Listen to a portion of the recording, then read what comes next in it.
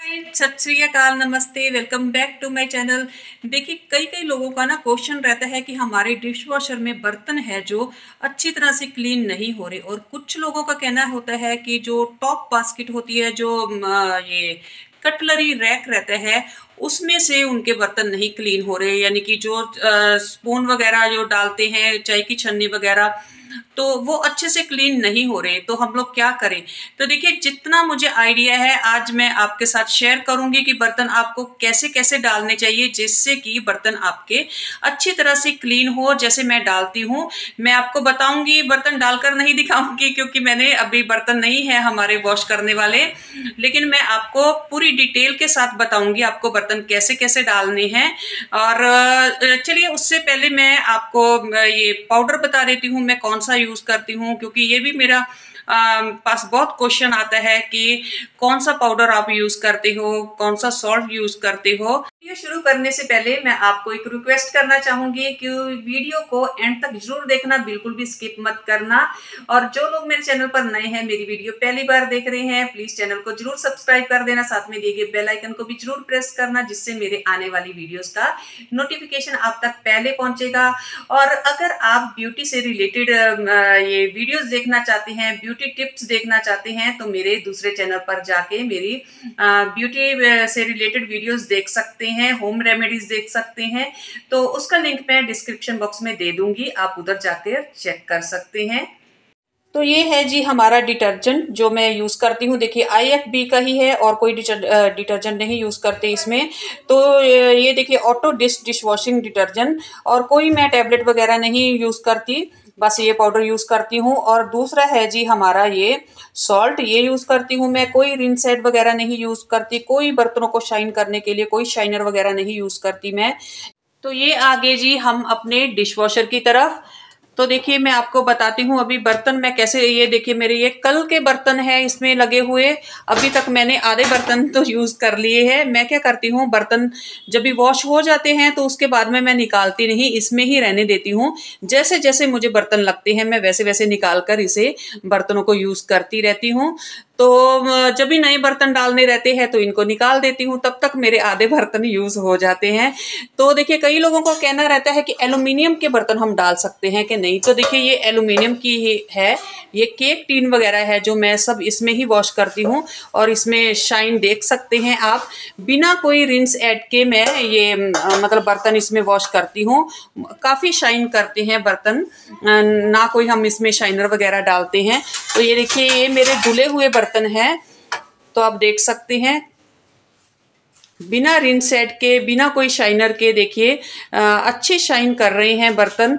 तो चलिए जी, अब भी मैं ये दिखा देती हूँ ये मेरी ऊपर की बास्केट। ये भी मैंने अभी तक निकाले नहीं है बर्तन। तो ये देखिए, ये इधर स्पून डाल सकते हैं हम लोग, लेकिन ये जगह खाली सी। तो मैं इधर क्या करती हूँ, ये कोई भी जगह मैं, ये स्पेस जो है वेस्ट नहीं जाने देती। मैंने इधर भी कटोरियाँ डाल दी है। तो अब भी आते हैं जी हमारी मेन प्रॉब्लम पर कि हमारे बर्तन क्यों नहीं क्लीन होते। देखिए बर्तन आप, आपके क्यों नहीं क्लीन होते? या तो आप ओवरलोड कर देते हैं बर्तनों को एक के ऊपर एक डाल देते हैं। जैसे ये देखिए ये हमने ये पतीली छोटी रखी है और इसके ऊपर देखिए आप अगर ऐसे करके बर्तन रख देंगे तो ये ये जो ऊपर का बर्तन रहेगा वो क्लीन नहीं होगा। क्योंकि इसमें से जो भी वाटर जो रहता है ये जो इसके आर्म्स रहते हैं इनमें से निकलता है ये गोल घूमते हैं जब भी डिश वॉशर चालू होता है तो इनमें से पानी निकलता है। वो प्रेशर से हमारे जो बर्तन है वॉश होते हैं। कोई इसमें ब्रश वगैरह नहीं एक्स्ट्रा एक्स्ट्रा होता।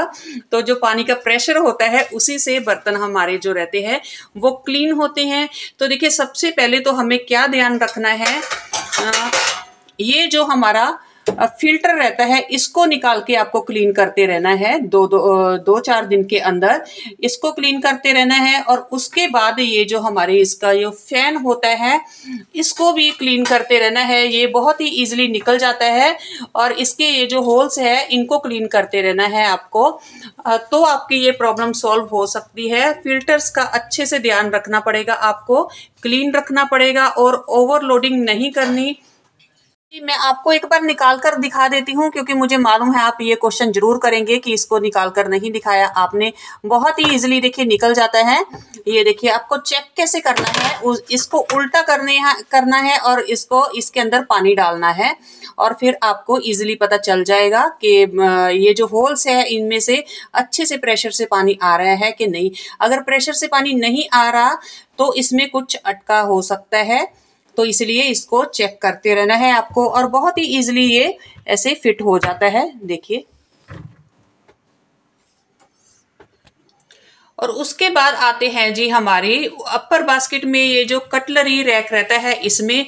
तो देखिए, जो लोगों का कहना है कि हाँ उनके स्पून्स वगैरह नहीं क्लीन हो रहे, देखिए, मैंने तो ऐसे ही डाल रखे हैं। कैसे भी मैं डाल देती हूँ और आराम से देखिए, ये कितने अच्छे, देखिए, एकदम कुछ भी कचरा नहीं इन पे लगा हुआ। मैं कैसे भी कर कर स्पून्स डाल देती हूँ इसमें।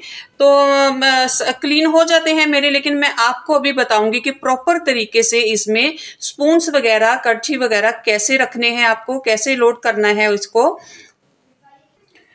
और उससे पहले मैं आपको बता देती हूँ, अगर आपके पास स्पून्स वगैरह ज़्यादा रहते हैं तो आप ये जो बास्केट मिलती है, इसमें कटलरी बास्केट इसमें डालकर वॉश कर सकते हैं स्पून्स वगैरह है जो। नहीं तो फिर देखिए, आप ये जो साइड में पूरी जगह बनी रहती है, ये ये जो ये रैक बने हुए हैं ना छोटे छोटे ये मैंने निकाल दिए हैं। नहीं तो ये भी बहुत काम आते हैं। इसमें से इसमें हम स्पून्स काफ़ी सारे स्पून्स आ जा, आ जाते हैं इसमें।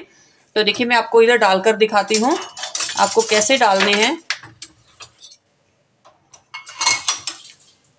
तो ये देखिए, ऐसे कर कर हमारे इसमें इसमें फिफ्टीन के करीब स्पून्स आ जाते हैं। आप ऐसे भी डाल सकते हैं, ऐसे अच्छे क्लीन होकर निकलेंगे आपके स्पून्स हैं जो। पहले हमारे ये बर्तन निकाल देते हैं। पहले वाले जो मैंने इधर रखे हुए हैं, और देखिए, ये जो थोड़ी सी भी जगह मिलती है ना, मैं इधर कुछ भी डाल देती हूँ, कटोरी वगैरह इधर। मैं बिल्कुल भी वेस्ट नहीं करती, कोई भी जो स्पेस रहती है। तो चलिए जी रैक हमारा पूरा खाली हो चुका है। तो देखिए, हमें इधर ये जो जगह बनी हुई है, बस इधर हमें एडजस्ट करने हैं। सब स्पून्स काफ़ी सारे स्पून्स आ जाते हैं इसमें।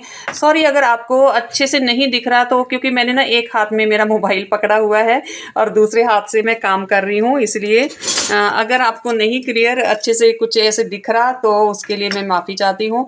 तो देखिए जी, ये ऐसे हमें ऐसे सेट करने हैं, देखिए। अगर आपके स्पून्स जो है क्लीन नहीं हो रहे, आपको अगर ऐसे सेट कर कर रखेंगे ना सब स्पून्स को तो अच्छी तरह से क्लीन होकर ही निकलेंगे, कोई प्रॉब्लम नहीं आएगी इसमें। और ये जो छन्नी वगैरह रहती है, वो आप इधर लगा सकते हैं, इधर कुछ भी रख सकते हैं। तो ये देखिए जी, हमारे ये नाइफ्स वगैरह रह गए। मैं तो नाइफ्स वगैरह भी जो भी होते हैं, इसमें डिशवॉशर में डाल देती हूँ। तो देखिए, इनको भी हमें बस ऐसे ही सेट कर कर रखना है। अगर आप ऐसे कैसे भी डाल देंगे, ये पतले हैं ना तो इसके अंदर से निकल कर नीचे गिर सकते हैं तो फिर प्रॉब्लम हो जाएगी। तो इसलिए इनको आप ऐसे ही रखिए। आई होप जो जो मैंने बातें आपके साथ अभी शेयर की है, आपको अच्छे से समझ आ गई होगी। मेरे समझाने का तरीका अगर आपको अच्छा लगे तो मेरी वीडियो को प्लीज़ लाइक ज़रूर कर देना। अगर आपका अभी भी कोई क्वेश्चन है तो आप मुझे कमेंट कर कर पूछ सकते हैं। मैं ज़रूर रिप्लाई करूँगी और हो सके तो मैं उसके, आपकी प्रॉब्लम के ऊपर वीडियो बनाने की कोशिश भी करूँगी। तो अगर आप मेरी पहले की वीडियोज़ देखना चाहते हैं, मैंने इस पर डिश के बारे में तीन से चार शायद वीडियो पहले भी अपलोड की हुई है। उसमें काफ़ी कुछ आपको सीखने को मिलेगा। ये डिश वॉशर को कैसे लोड करते हैं, बड़े से बड़े बर्तन इसमें कैसे डाल सकते हैं। तो डिस्क्रिप्शन बॉक्स में मैंने उनका लिंक दे दिया है। वो सब वीडियोस का आप उधर जाकर चेक कर सकते हैं। काफ़ी कुछ आपको सीखने को मिलेगा मेरी वो वीडियोस देख के। तो चलिए गाइस आज की वीडियो में इतना ही। अगर वीडियो थोड़ी सी भी हेल्पफुल लगी ना तो वीडियो को लाइक ज़रूर कर देना। तो चलिए जी, मिलते हैं नेक्स्ट वीडियो में। Bye bye